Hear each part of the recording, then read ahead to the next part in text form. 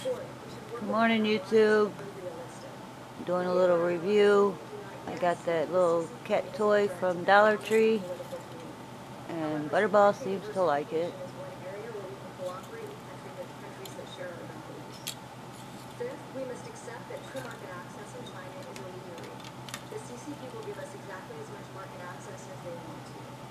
Big boy's checking it out. Unfettered market access is possible, the more leverage they have over us. Being a market access demandeur puts us in a position of weakness and increases their ability to interfere with our civil liberties. Thank you for the opportunity to comment these points. Thank you very much. What is that? Mr. Chairman, ranking member, members of the committee, thank you very much for the opportunity to testify today. China is expanding its use of censorship to promote national interests with adverse consequences around the globe. This has been driven home for us by the suppression of information on the coronavirus. He'll figure out how to get it out of there. Get the ball out. Censorship is just one of the many tools that is used to promote the party's interests. We've talked about others already today.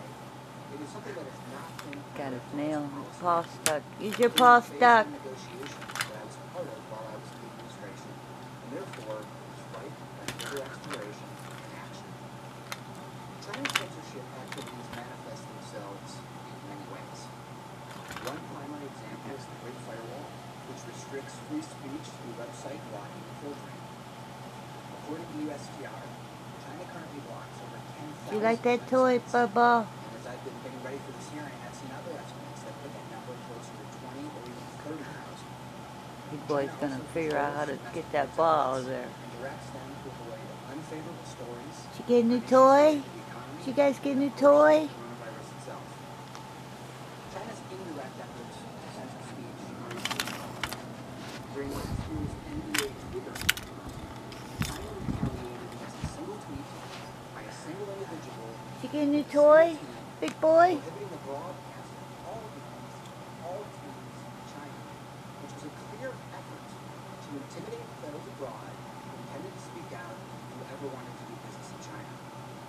Hit that ball. Hit the ball. Hit the ball. regulators to comprehensively monitor businesses' behavior in real time.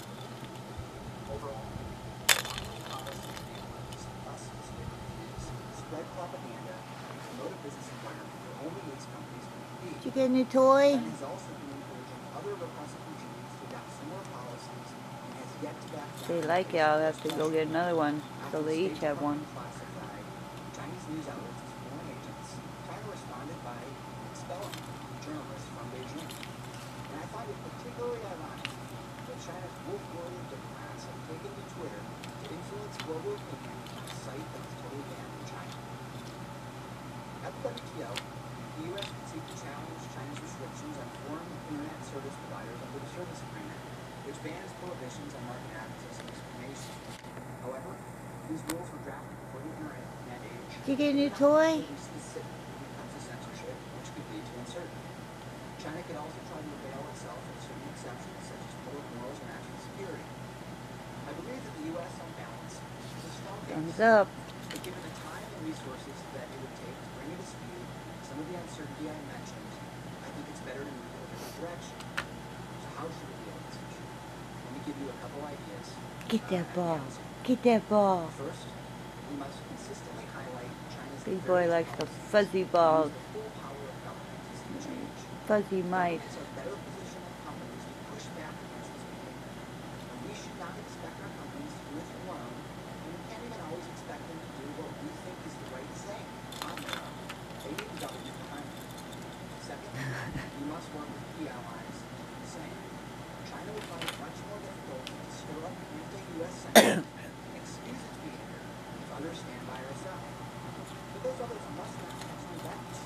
its a win. Wrong sense of China by adopting similar policies. The EU's digital sovereignty agenda and the discussion of the European firewall is a case in point. Third, I'd apply the same us. As we seek to counter the threat that is posed by China, we must be careful not to adopt same policies that we are condemning, policies that stifle free speech or increase market access barriers. This will backfire economically, and it will cause us to lose moral high ground that's so important to building an effective international Fourth, See all my books, pursue a broad my WTO reform agenda crafting supplies. Forced technology transfer, subsidies, intellectual property theft. And I think some of the ideas that that raised as well are worth considering. We should require China to take on the same obligations as the United States and fix the dispute settlement system. The WTO is falling short of its objectives. Say thumbs up. But abandoning the system, Dollar Tree. not China, helps create would tragic mistake. I like my toys. when we see the U.S. created system collapse. Fifth, we should negotiate a broader range censorship provisions. This includes a revamped U.S.-EU-Japan trilateral, add-on mutual trade chapters with existing FTA partners like Australia, a new Taiwan FTA, and a renegotiated TPP. Putting politics aside, TPP provides a great opportunity to encircle China with policies that stand in contrast to its economic model.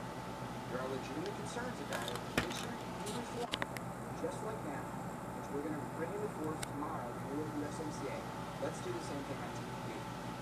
Sixth, we must pass new laws to protect U.S. companies so they can safely access a market of over a billion consumers. Ideas like protecting employees for being terminated for voicing opinions about foreign government, prohibiting U.S. companies from complying with censorship requests, and disclosing pressure to receive Do you like the new toy?